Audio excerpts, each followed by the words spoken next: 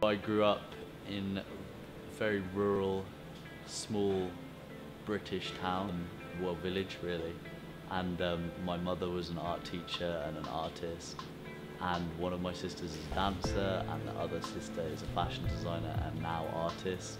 So it was a very creative environment.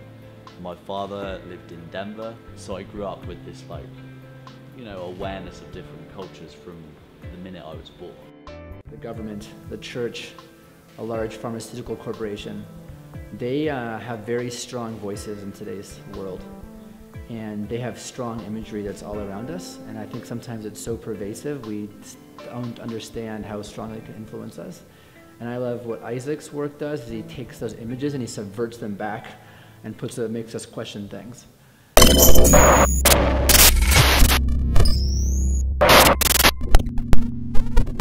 Concept of recycle propaganda is taking this very like black and white propaganda viewpoint of certain issues and recycling it into something that's more ambiguous and into something that involves thought or debate or conjecture. His work is it's aesthetically appealing, but it also has a message as well, so it invokes that thought within the viewer.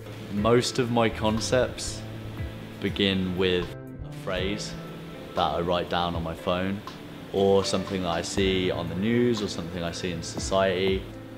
Once I have that and I've almost released that designers or the you know society, based off that and my personal preferences, I then decide which digital designs move forward. Well, this design was originally noted as surveillance constructs conformity on my phone. Now, this came from watching a news piece on Democracy Now! regarding surveillance and how it's constructing this nation of people that are fearful of doing anything because they're always being watched. So I was trying to come up with the concept to sort of visualize the conformity that comes from surveillance. And I thought, what says conformity more than a gun? Because a gun is designed to make people conform. So I thought, well, if I can combine a CCTV camera and a gun, I think that perfectly represents what I'm trying to achieve here. I took the elements from the CCTV camera and the gun and combined them and basically that's as far as the design went. The reason I liked the outcome of this is because it doesn't tell you whether it's a good thing or a bad thing. Maybe that's CCTV protecting society or maybe it's imposing on society.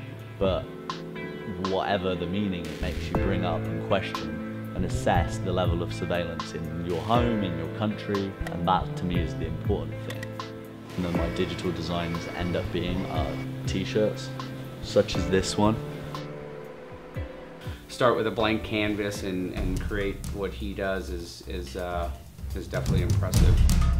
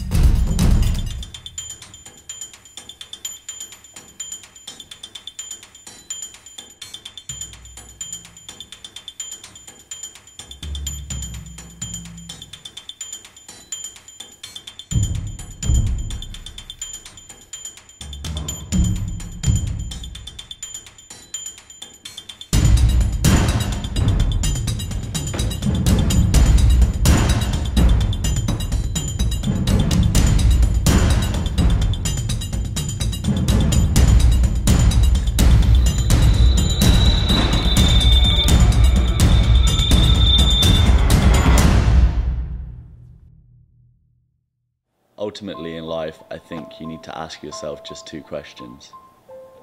What kind of world do you want to live in, and what are you passionate about?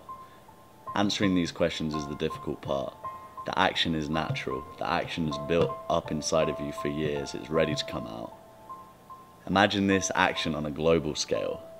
Imagine what we could achieve.